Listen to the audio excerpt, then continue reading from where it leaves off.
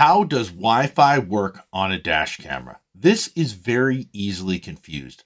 Most customers actually associate this with their home Wi-Fi. We actually had a customer once that every single time I was showing him how to pair his ThinkWare dash camera to his phone, he kept walking into the house. And after the third time, I said, Sir, I really need to ask you, what are you doing? He goes, I'm trying to pair the dash camera to my home Wi Fi. No, that's not how it works at all. As much as it's kind of funny telling the story, the thing is, it's a reality that most customers actually think it works with their home Wi Fi. So, a couple different things I want to eliminate in this video. One, you don't need to be near your home Wi Fi at all in order for your dash camera to work with the smartphone app on your phone. Two, the dash camera actually creates its own Wi Fi hotspot. You just have to literally push the Wi Fi button. Depending on your dash camera, you may need to go into the menu in order to activate it.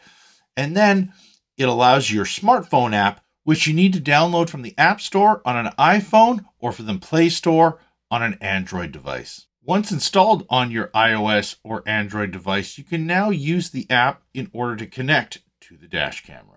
And the main reason why it does this is so that you can download videos, change settings, and that is very important. It's just convenient.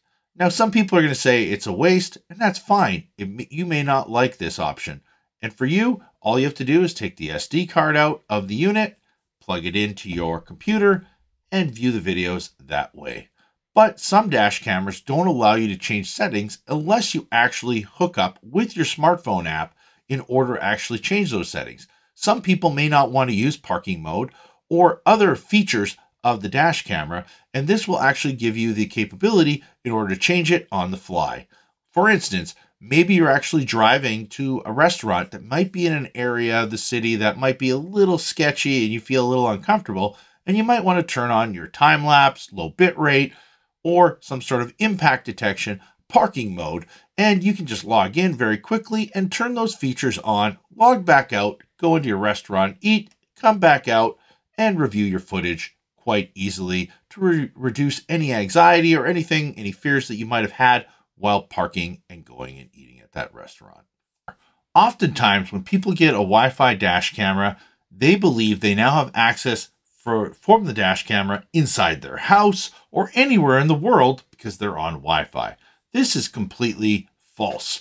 This actually, they would only have access to it if there was a SIM card in it, not an SD card, a SIM card, a cellular card, which is going to involve you having to pay some sort of subscription every single month, and you're going to have to have a cellular SIM card installed in the unit. There are a few units that do have this capability, BlackVue is very famous for them, and I feel they do a great job with their cloud service amongst other units. I hope this helped clear up some of the misconceptions on Wi Fi, but the main thing is you don't need your home Wi Fi, and it's very simple. All you need is to push the Wi Fi button on the dash camera and use your phone in order to actually pair directly to it on the smartphone app.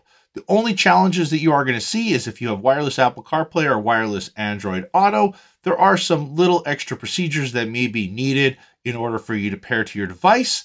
And the last thing is you do not need to pair to your device the whole time while driving. These are independent dash cam systems. Everything records directly to the SD card on the dash camera.